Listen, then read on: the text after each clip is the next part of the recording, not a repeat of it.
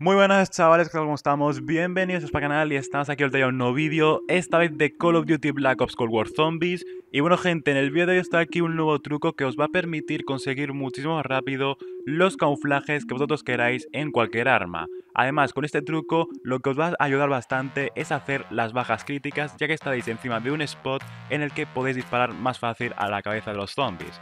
Así que chavales, una hecho todo esto, poneos cómodos que empezamos con el vídeo de hoy y bueno gente, lo primero que tenéis que hacer para hacer este truco, como cualquier truco que suba al canal, de primeras tenéis que crear una clase con el arma que vosotros queráis. Yo recomiendo que en ese arma le apliquéis un cargo ampliado para que de esta forma la munición no os preocupéis tanto, aunque con este truco la munición pues realmente no os va a suponer mucho problema ya que tendréis justamente al lado del truco la munición. Y ya por último, gente, la mejora que os tenéis que equipar, aquí ya es elección vuestra, podéis equipar lo que queráis, os podéis equipar el manto de Leather, también recomiendo que os podáis equipar el brote tóxico, así que aquí ya es depende de cada uno y podéis usar el que queráis. Así gente, una vez que tengáis la clase totalmente preparada, algo que tenéis que hacer es iniciar una partida en modo solitario en el mapa de Base.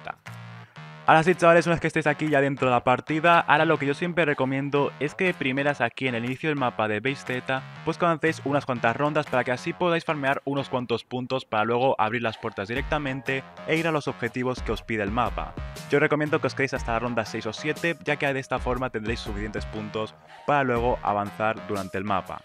Así gente, una vez que tengáis los suficientes puntos, ahora lo que tenéis que hacer pues es básicamente abrir esta puerta. Yo aquí en el gameplay utilicé el manto de Leather ya que para esta forma no gastar ningún punto y llegar pues totalmente con todos los puntos que he farmeado a las puertas. Y tenéis que ir justamente arriba donde está el teletransporte.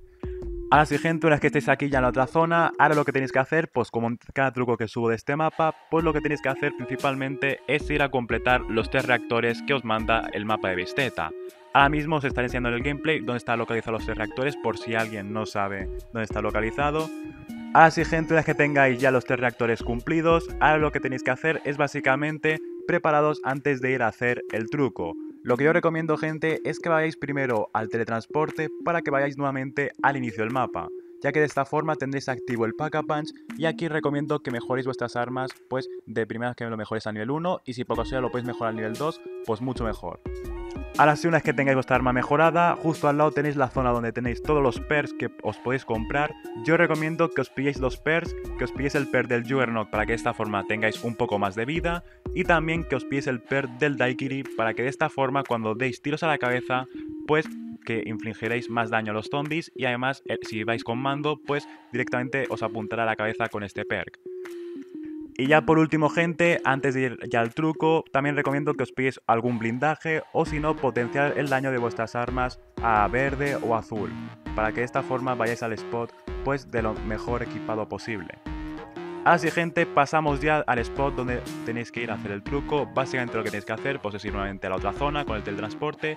Y ya lo que tenéis que hacer pues, es seguir este recorrido hasta llegar aquí a las trincheras estas que están justamente detrás del primer reactor que hemos completado pues nos dirigimos justamente aquí al lado donde está la zona de munición, pues aquí al lado hay como una especie de bolsitas, pues ahí lo que tenéis que hacer es básicamente, tenéis que colocaros aquí un poco lejos, sprintáis y pegáis un salto para trepar esta muralla.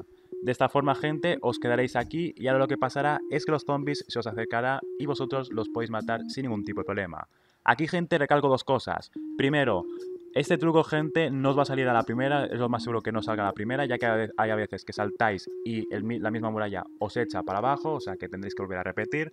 Así que si os pasa esto, no pasa nada, no es que esté parche al truco, sino que básicamente os ha echado y os tenéis que colocar mejor justamente donde os tenéis que colocar. Y ya por último, gente, también puede haber a veces que cuando os coloquéis bien en el spot, pues puede ser que a lo mejor cuando respawnen los nuevos zombies de otras rondas, puede ser que se queden en la posición donde están, donde respawnean.